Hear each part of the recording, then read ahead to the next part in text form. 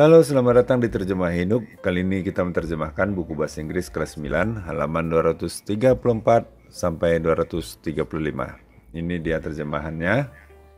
Nah, berikut ini adalah berikut uh, ada tiga tiga buah lagi teks tentang binatang yang hidup di Indonesia. Teks teks-teks ini telah dia, diambil dari sebuah ensiklopedi.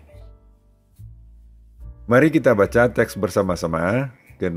Pertama, dengarkan pada saya secara seksama, kemudian diulangi. Ucapkan kata-katanya secara keras, jelas dan benar.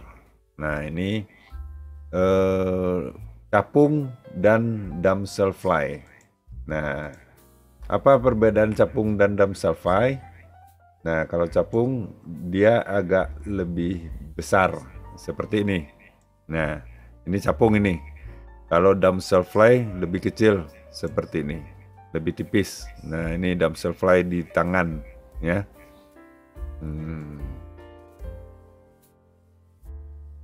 Nah, terjemahannya capung adalah serangga terbang yang paling cepat, ya mereka menusik menukik ke dalam sungai dan uh, kolam hingga kecepatannya hingga 90 km per jam.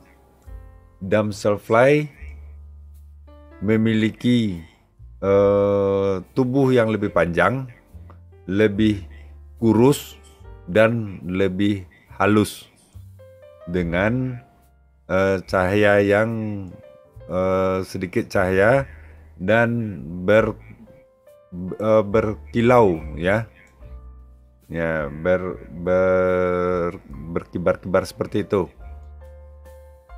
Nah, sayap damselfly hampir transparan ya. Mereka berkilauan ya. Berkilauan saat damselfly mencari serangga kecil untuk dimakan. Jadi makanannya serangga, serangga-serangga kecil. Capung dan damselfly hidup di dekat air. Mereka bertelur menetapkan me, me, bertelur di, di tanaman.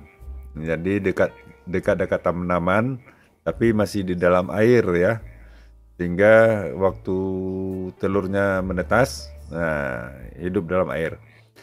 Nah ini dia. Ketika men mereka menetas, ya, yang muda disebut dengan nimfa, ya, nimfa memakan uh, keluar dari telur mereka, ya.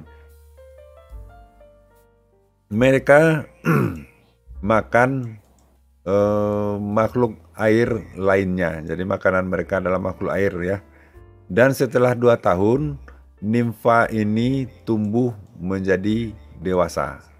Itu uh, dragonfly atau capung.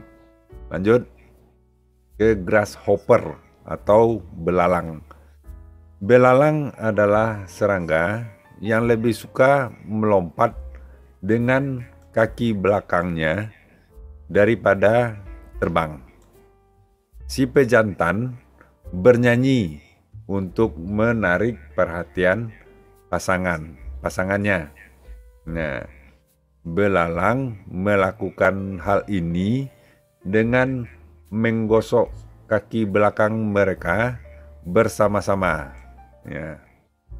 Belalang memiliki otot yang sangat kuat pada uh, kaki belakang mereka yang panjang dan uh, memiliki pegas yang luar biasa di lutut mereka. Jadi di sekitar sini nih pegasnya luar biasa ya. Belalang bisa melompat dua kali jauhnya 12 kali dibandingkan panjang tubuh mereka. Ya, jika belalang itu panjangnya eh, 5 cm, maka dia bisa melompat melompat sejauh 60 cm.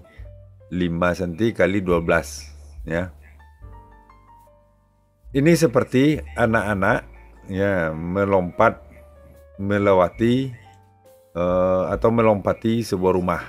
Jadi itu jauhnya ya. Lanjut ikan. Hmm. Ikan hidup di, di air asin dan air tawar di seluruh dunia.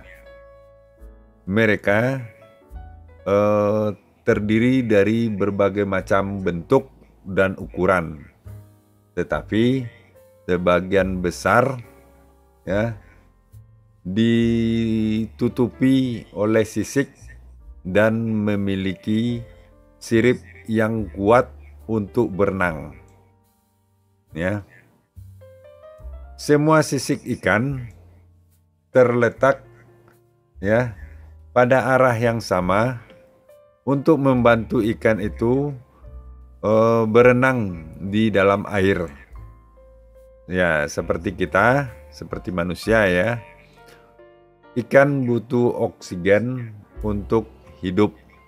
Tetapi bukan mengambil eh, atau menghirup udara meng, untuk oksigennya ya, bukan menghirup di udara, mereka uh, menyerap oksigen di dalam air. Jadi oksigennya masuk uh, masuk ke mulut dan menyapu insang mereka, ya oksigen mengalir dari air dari air ke pembuluh darah ke, eh, ke pembuluh darah yang kecil di insang. Nah, ikan sering berenang dalam kelompok yang disebut dengan kawanan. Salah satu alasan mereka melakukan ini adalah untuk perlindungan bagi diri mereka sendiri. Banyak ikan secara bersama jika banyak ikan yang bersama-sama ya bisa membingungkan pemangsa mereka. Ya. Hal ini akan membuat sulit bagi predator atau pemangsanya untuk memilih ikan mana yang akan mereka tangkap atau akan mereka jadikan mangsa. Nah, itulah terjemahan untuk kali ini. Jangan lupa subscribe dan like. Uh, sampaikan kepada guru dan teman, diskusikan dalam kelas. Mudah-mudahan bermanfaat. Sampai jumpa.